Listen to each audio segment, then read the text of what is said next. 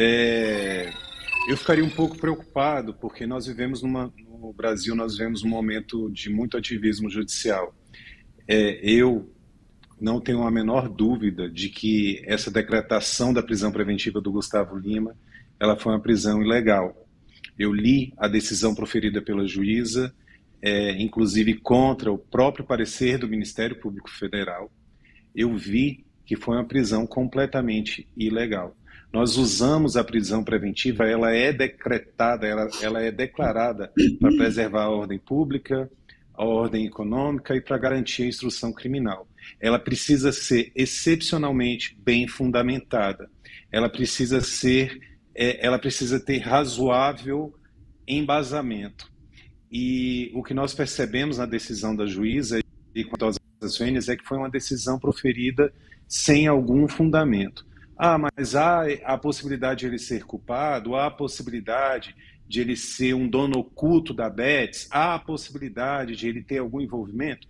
Há sim essa possibilidade, mas isso tudo vai ser verificado durante a instrução criminal. Essa semana nós tivemos um japonês que passou mais de um século preso, não sei se vocês chegaram a ver, Hakamada, ele passou mais de um século preso quando chegaram a provas de que ele estaria, de que ele seria inocente, que ele não teria cometido crime contra o ex-chefe dele. Nós temos no Brasil o caso do irmão Naves também. Tá certo que aí nós estamos falando de condenações de prisões pena. O caso do Gustavo Lima, a prisão decretada foi uma prisão decretada no sentido de prisão preventiva. Ainda assim, nós precisamos ter muito cuidado com isso, porque prisões preventivas ou prisões penas, elas acabam de uma forma ou de outra, a depender da situação que ocorra, com a vida daquele ser humano. Então, a prisão não é para respeitar, a, a, a, fundamentação não é para respeitar o direito daquele criminoso ou de qualquer outro criminoso, é para respeitar o direito de todo e qualquer cidadão.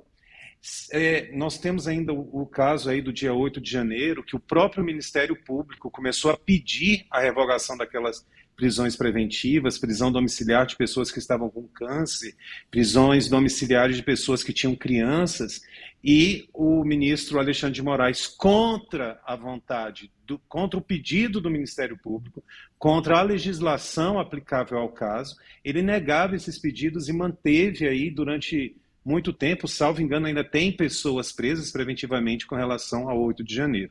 Por que, que eu faço esse arcabouço geral? Para dizer que o princípio da inocência, a inviolabilidade, a, o direito de ir e de vir são direitos invioláveis em um regime democrático de direito. Eles precisam ser respeitados. Eu não tenho a menor dúvida de que a prisão preventiva dele foi uma prisão é, decretada de forma assodada. Acho que o Tribunal de Justiça agiu corretamente e se voltando fosse o advogado dele, eu estaria preocupado sim porque nós vivemos hoje no país um ativismo judicial é, sobrenatural. Jandaraci, a sua avaliação? Depois da aula do Peter, que difícil, hein? Mas eu acho que tem algum ponto aqui. É, a gente tem um histórico, ele teve a prisão preventiva decretada, né? Por isso que ele voltou para o Brasil. Ela, essa prisão preventiva foi relaxada e agora ele foi indiciado. É, eu acho que tem uma questão de transparência. Ele, como uma figura pública, né, os indícios que se acharam, assim como teve da, da, da advogada é, doutora Deolane também, que teve essa situação, a gente, o advogado precisa trabalhar. Acho que ele tem um corpo de advogado suficiente para poder trabalhar na causa. E, como ele mesmo falou, quem não deve não teme, né? É, aí agora, essa questão dos jogos não regularizados, a gente precisa acompanhar mais de perto eu tenho visto o clamor, mas prende fulano, porque esse ciclano não foi indiciado. Bom, aqui tem que entender como está se dando, e eu não tive acesso ao, aos, aos laudos nem da investigação para falar porque ele sim e outros não. Né? É, tem aqui uma. Ele tem o direito de ser sócio de qualquer empresa, desde que essa empresa esteja agindo dentro da legalidade, ninguém vai responder. Então, assim, até como empresária, falo isso: qualquer pessoa tem direito a ser sócia ou ser investidora de qualquer negócio desde que esse negócio, se esse negócio está legal, você não vai ter problemas. Né? Agora, o, essa, essa, esse movimento de fugir, né, teoricamente, se deslocar, descancelar show, eu acho que levanta muito mais suspeitas do que efetivamente uma, uma intenção de comprovar sua inocência. Então, você gera muito mais ruído e comoção pública em cima de uma agenda que poderia ser resolvida. E aí, isso deixa para os advogados dele e para a jurídica efetivamente é, avaliar qual a real necessidade dele estar fora do país. Acho que esse é o grande ponto. É, Jandaraci, eu continuo com você e na sequência volto para o Peter pelo seguinte: a investigação mostrou que houve um contrato e um distrato no mesmo dia, 25 de maio de 2023, em uma das transações de venda da aeronave. Ele vendeu um avião, hum. né, é, é, foi aqui para. Um, primeira venda aconteceu em 2023, foi ó, 6 milhões de dólares, o avião que foi vendido para Esportes Entretenimento, uma empresa que pertence a Darwin Henrique da Silva Filho, segundo a polícia, é de uma família de bicheiros do Recife. Tá, Gustavo Lima vai vender o avião dele, vendeu aqui para um, um, integrante de uma família de bicheiros. Até aí, pode saber, pode não saber, isso não diz tanta coisa para gente. Mas o que, que aconteceu? Ele vendeu, é, este pernambucano, ele ficou com o avião durante dois meses, alegou falhas mecânicas e falou, Gustavo Lima, vou te devolver o avião. É isso aqui oficialmente, é a versão apresentada pelas defesas, respectivas defesas. Estou te devolvendo o avião. Aí não tinha contrato de venda. Quando houve a primeira transação, não teve contrato de venda. Então vamos fazer o seguinte: a gente faz aqui o contrato e o distrato no mesmo dia. Esse contrato e distrato ocorrendo no mesmo dia chamou a atenção da polícia. Será que de fato nunca houve a transação? Será que essa compra nunca foi feita? Eles estão dizendo aqui que ficou dois meses com o avião, às vezes ficou só emprestado. E aí estão dizendo aqui que houve uma compra, uma venda para justificar o vai e vem de valores, para maquiar aqui a origem ilegal de um determinado montante. E aí, primeiro, eu, eu quero é, é, aproveitar essa sua experiência como empresária. Um contra... Um, uma negociação que é feita não é formalizada. E lá na frente formaliza-se tanto o fechamento do acordo quanto a quebra do acordo no mesmo dia como se fosse um efeito retroativo. Isso é comum no meio empresarial? Pode acontecer quando você está falando de operações que o montante é muito baixo, tá? Você pode acontecer, mas geralmente isso acontece quando você tem uma empresa muito pequena e eu estou falando de valores muito baixos. Quando você está falando de um empresário, né, de um músico que tem um corpo, ele não trabalha sozinho. Não é a pessoa física Gustavo Lima fazendo transação, ele tem uma equipe. Ele tem advogados, ele deve ter pessoas que assessoram ele nesse movimento. É meio, é, soa estranho, até porque a gente não está falando de 5 mil reais e a gente não está falando aqui de 500 reais. Então, tem uma diferença muito grande. Né? Você fazer uma movimentação significativa dessa, sem uma comprovação de entrada de recurso ou não. Então, quando, por exemplo, ele é contratado por um show, o show dele orna em torno de um milhão de reais, você tem lá toda uma transação, um contrato, né? Então, até quando se contrata um show de um artista como ele, existe um contrato com suas, com suas regularidades, com suas regras de distrato. Isso é a coisa mais comum. A gente também não está falando da compra de um automóvel, por exemplo, que é muito comum, por exemplo, em, em casos de automóveis, é, a pessoa demorar para fazer a transferência de documentação. Mas você tem lá um recibo de compra e venda. Então, efetivamente, é, é quase, vamos dizer, vou usar uma expressão francesa, naif, né? É, considerar que uma transação desse porte pudesse passar despercebida. Né? Então, acho que aqui ele pode estar talvez sendo vítima de um mau assessoramento, né? principalmente ele sendo uma pessoa pública. Então, quando você me traz a situação, eu olhando e aí partindo do presunção da inocência, é, pode ser uma situação de um empresário que ele é um empresário mal assessorado. Né? Então, fica, fica a dúvida no ar.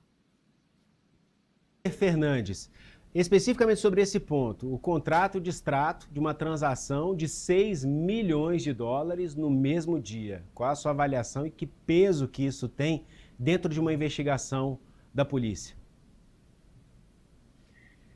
É, eu estava com vontade de rir, perdão, porque eu gostaria que, que, que, a sociedade, inclusive essas questões eleitorais que a gente vem vivenciado, fosse muito em relação a, a esse debate que eu tenho, sempre tenho com a Jandaraci, porque muitas vezes eu vou para o norte, ela vai para o sul e a gente continua se amando aí, gostando um do outro.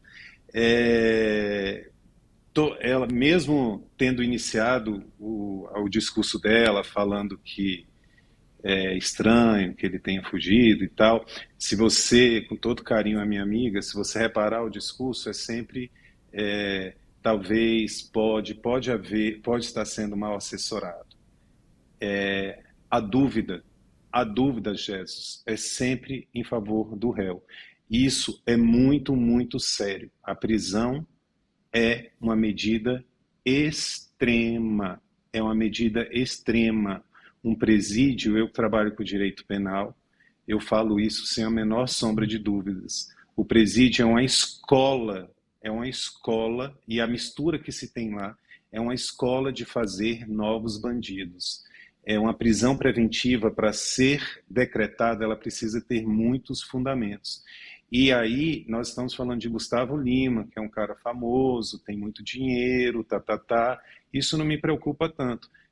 Me preocupa é o pobrezinho, coitado, que não tem alguma que tem a prisão preventiva decretada, fica dois, três anos presos preventivamente, o que já é ilegal. A prisão preventiva tem um prazo determinado de 90 dias, e aí, em razão do ativismo judicial que nós vivemos hoje, nós, nós nos deparamos com prisões que ficam durante não sei quanto tempo, para depois se chegar à ideia de que aquela pessoa sequer foi denunciada.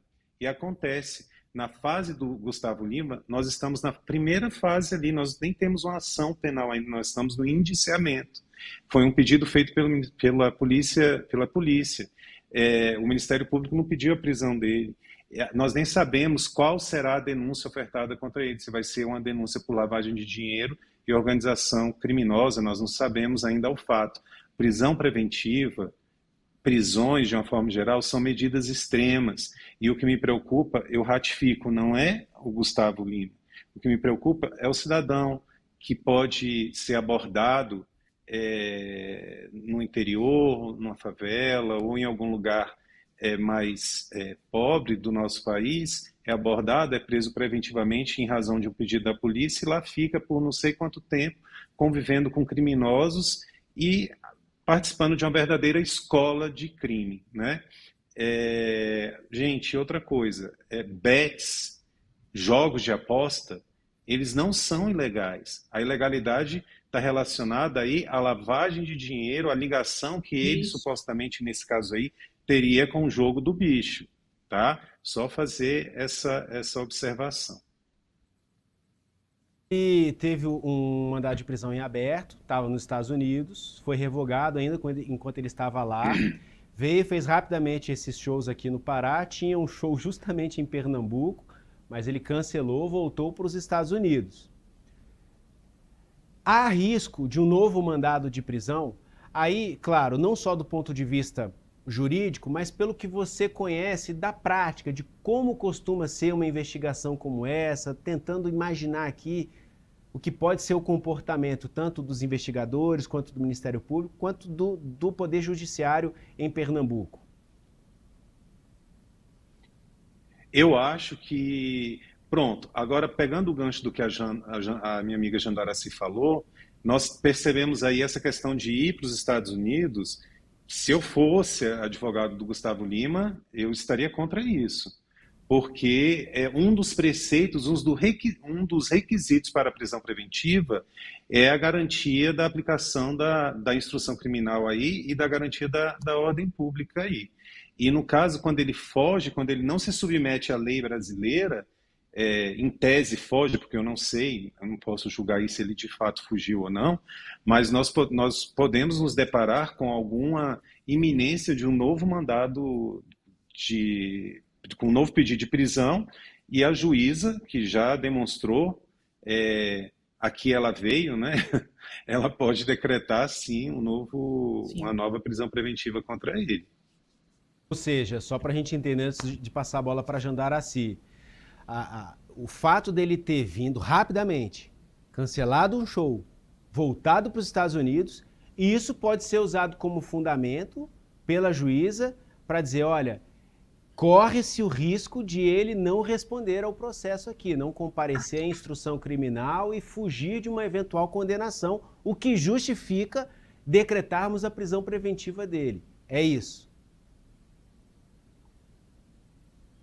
É, é, comigo ainda, Jéssica? Sim, sim. É, é, isso. Eu acho que é isso, sim. Eu acho que é isso, porque ele estando aqui, endereço fixo, local permanente, ele se submetendo a todos os pedidos da justiça, significa que ele está ajudando, ele está cooperando com a instrução criminal. A partir do momento que ele foge, né, foge assim, a partir do momento que ele sai para os Estados Unidos, isso pode não ser bem visto. Essa opinião eu tenho também. Mas, retomando o que eu disse no início, prisão preventiva, prisão é uma medida extrema. Jandaraci, eu queria que você avaliasse do ponto de vista social a atuação das bets aqui no Brasil. Porque a gente está falando é, de uma suposta origem ilegal de recursos à disposição de Gustavo Lima e de todo esse esquema do, que ele estaria integrando e jogo do bicho, que a gente sabe que é uma contravenção, é ilegal aqui no Brasil. Mas a, as casas de aposta, há uma regulamentação em curso, mas da forma como é hoje, muitas delas Isso. estão funcionando aqui sob o amparo da lei. E aí a gente entra aqui na questão das bets, de onde está vindo o dinheiro, que boa parte do dinheiro que vai parar nas mãos de Gustavo Lima, independente de ser legal ou ilegal. Né? De, a própria Deolane. Eu quero que você analise aqui essa atmosfera em torno das bets. A gente estava noticiando aqui na semana passada muitos beneficiários do Bolsa Família colocando boa parte do pe pequeno recurso que eles recebem ali mensalmente para subsistência, para as necessidades mais básicas e pessoas apostando ali. É possível a gente ter um, uma, um uso consciente dessas casas de apostas aqui no Brasil?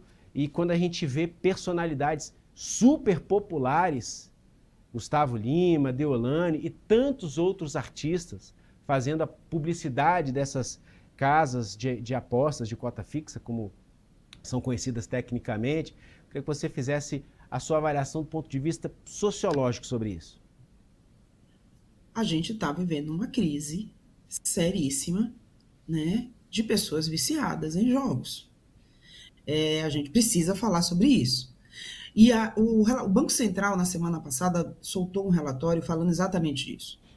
A gente tem uma regulamentação em andamento, a gente tem KNAI específicos para bets.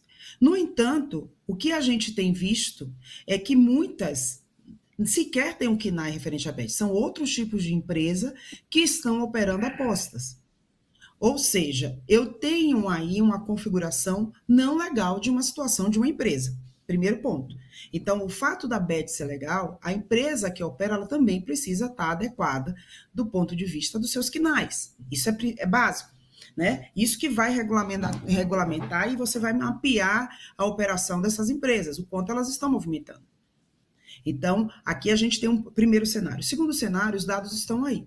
O que a gente tem acompanhado de pessoas que estão extremamente endividadas, não só usando o Bolsa Família, mas todos os recursos que tem e que não tem, vendendo inclusive itens de casas para poder jogar, é absurdo. Então, aqui a gente está falando do vício do jogo que é extremamente prejudicial. A nossa sociedade, ela não é educada financeiramente. Existem campanhas anuais é, feitas pelos bancos e pela Febraban, exatamente para falar de educação financeira. A gente está falando de pessoas que estão pegando todos os seus recursos e fazendo apostas de forma contínua e sem limite, sem freio. Esse é o grande problema. Estamos com um problema, um, vamos dizer, uma epidemia né, de jogos. E aí a gente está falando de saúde mental. Quando a gente está falando de vício em jogo, a gente pode sim ter um aumento de criminalidade que já não é baixo em alguns lugares. Mas você também tem tido situações de uma das pessoas até chegarem ao extremo, né, de retirarem a própria vida. Então, o caso é muito sério e não pode ser negligenciado. Agora, todo mundo precisa ter a consciência e aqui a gente precisa falar de ter campanhas educativas em relação aos jogos. Diferentemente de uma loto fácil ou de uma mega sena, você tem um vício continuado sem limite de valores para apostar. Eu não estou falando de apostas de 2, 4, 5, 6 reais. Com a facilidade do digital, você pode apostar N valores. As pessoas usam cartões de crédito para apostar. Então, a gente tem um problema seríssimo hoje, é, quando principalmente a gente vê que o recurso Bolsa Família não é um recurso absurdo, né? Que é outra situação que a gente precisa falar. As pessoas é um valor baixo, gente. A gente não está falando de alguém que ganha 10, 15 mil reais, né? De, não é nada disso. E você tem pessoas extremamente viciadas em jogos. Então, esse é um problema muito sério que a gente precisa encontrar uma, uma forma de abordar, principalmente através da educação. E aí, meu lado, professora grita, a gente precisa educar. O brasileiro precisa ser educado financeiramente, a gente precisa educar as pessoas em relação ao risco que os jogos atuam. Então, só quem está tendo suas famílias destruídas e sua convivência destruída em relação em função de jogos, né? E aí vai Betis, Tigrinho e todos esses outros jogos, é que sabe o quão grave é essa proliferação de jogos no país. Então, é, me preocupa muito, né? Porque a gente acaba, a gente já viu isso lá atrás com as pessoas idosas, é, acontecendo muito com pessoas idosas. Agora a gente tem uma população mais jovem, ativa, vivendo essa situação, que não é uma situação saudável nem para as pessoas. A gente não está falando de fazer girar a economia, que é muito importante. Eu não estou falando de um negócio que movimenta a economia e gera emprego. Então a gente precisa efetivamente trazer esse ponto de educação para as pessoas. Trazer a gravidade do vício. Assim como a gente teve campanhas sistêmicas para o cigarro, a gente precisa ter campanhas similares para jogos. Então, Peter, é um gostaria vício. de. Ah, pois não, Jandaraci, quer concluir? Não, concluí. Peter, sua, sua conclusão sobre esse assunto para a gente passar para o próximo tópico aqui. Eu concordo com a Jandaraci. É uma situação complicada, o vício em si é uma situação complicada, é uma questão de saúde pública. É... Eu acho que a gente tem muito a aprender com países mais envolvidos, que tenham esses jogos presenciais, inclusive legalizados, conseguem gerar empregos, que conseguem gerar é, trabalho, rotatividade de dinheiro e tal é, eu acho que nós não podemos ser hipócritas, né? Aqui no Brasil a gente fala, ah, prostituição é ilegal. Em todos os lugares que você vai, tem aí é, prostitutas que não recebem nenhum auxílio do governo, não conseguem se aposentar e a população, enfim, ah, jogos são ilegais, você não pode jogar e tal. Aí tem aí o jogo do bicho, a torta direito, todo mundo sabe que existe, todo mundo sabe que as pessoas jogam e tal. Então eu acho que o Brasil precisa parar um pouco de, com a hipocrisia do que de fato existe fora é, das nossas casas. Mas eu concordo com a Jandaraci, sim. É, é uma situação muito delicada, muito complexa. Famílias têm sido muito abaladas então, salvo engano, eu li que o presidente Lula está tentando fazer alguma coisa a respeito com uma instrução normativa é, para tentar evitar esses vícios que as pessoas têm.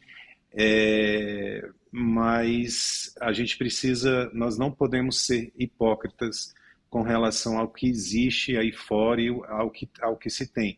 Ah, cigarro eletrônico, não sei. Um dia desse eu encontrei um cliente no Senado perguntando minha opinião sobre o cigarro eletrônico eu falei, olha, ainda que o Senado venha, está todo mundo usando. Né? Então, a gente precisa ter educação para as pessoas, informação para as pessoas, mas que o governo tenha alguma forma de ganhar o seu dinheiro, fazer o movimento, fazer o dinheiro rodar e investir em escolas públicas, em segurança, em segurança pública e etc. e tal. Porque o mercado, ele existe, está aí fora, todas as pessoas estão usando e quem não está recebendo é o, o próprio a pessoa mais pobre que precisa disso, né? Agora utilizar Bolsa Família, utilizar Bolsa Família, eu vou repetir, utilizar Bolsa Família para jogar nas bets, pelo amor de Deus,